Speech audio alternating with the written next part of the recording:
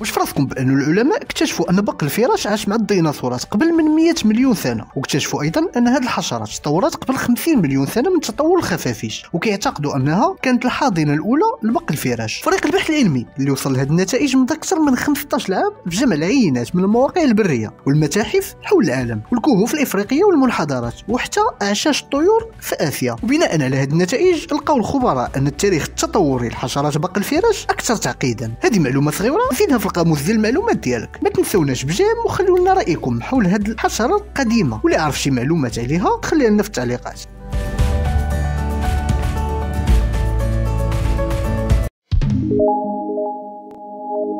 you.